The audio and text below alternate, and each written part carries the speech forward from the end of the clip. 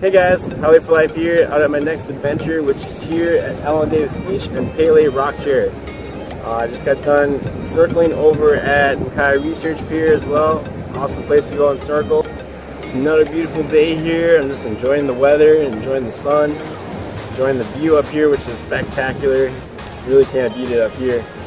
And real quick, what I want to do is I want to give a shout out to one of my fans on YouTube, Roger Lamb him and his daughter have been fans of my uh, channel for almost since the inception of it. So I really appreciate you guys. I appreciate you giving me a shout out last week. That was pretty awesome. Um, you guys can check out his page. Roger Lamb. Roger Lamb. And so I'll put a link in the description below the video and also put something on the video too so you can kind of find him easier. And you guys should definitely check him out. He does hikes like me as well. He goes out with his daughter and does all these awesome hikes in the Smoky Mountains back on the mainland.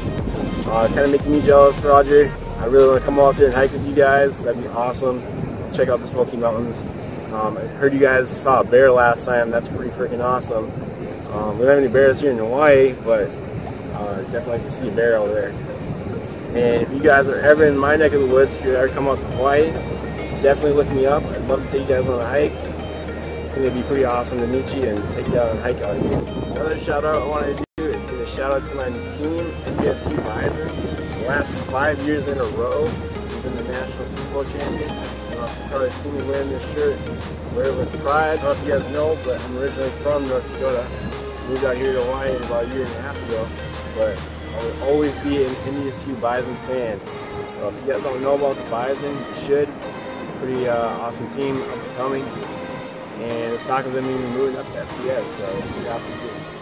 Check them out. And our, our quarterback, our star quarterback, Carson Wentz, number two NFL draft pick. Anybody out there who is from North Dakota or a Bison fan, give me a shout out in the comment section. I love meeting people from North Dakota or Bison fans. You guys are awesome. You'd be surprised how many places I go where I'm wearing Bison shirt and I get mentions about it. Um, people constantly like mentioning stuff like, oh, you're from Dakota, or oh, you like the Bison. They're a awesome team. I just love, I love talking to people about that. So if I have any YouTube fans uh, that are also Bison fans, that's awesome. Let me know in the comment section. Uh, maybe I'll do like a, a video on, uh, on Bison or something. I don't know. Maybe I can incorporate that somehow. Something for the future to think about. That's all I have for you today, guys. Um, until next time, I hope you guys have a great day. Get out and explore the world, enjoy the world, and discover something new, do something new. Push yourself outside of your comfort zone. I really encourage you to do that.